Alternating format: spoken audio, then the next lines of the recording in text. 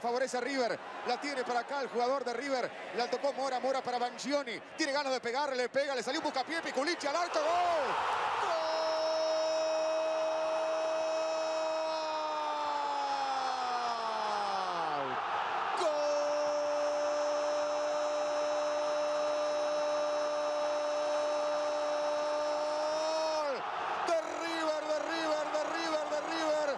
se dio entre zurdos. Banchioni le quiso pegar al arco, le salió un pase. Apareció Piculici, qué calidad. La puso con el pie abierto contra el palo derecho de Orión. 16 minutos, 16 minutos. Piculici, golosina Piculici. Dice que River le está ganando a Boca en un principio de clásico impresionante, infartante. River 1, Boca 0.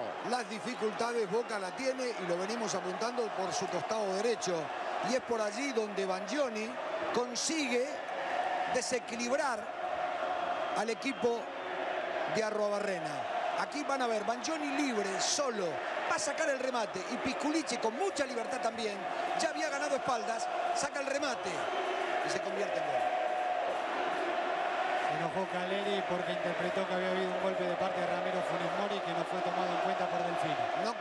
Boca los movimientos por su costado derecho. Meli se va mucho al medio, Marín queda muy solito, a Herbel no le alcanza para cubrir y Pisculici comienza a ganarle las espaldas al 21 de Boca, al volante central de Boca.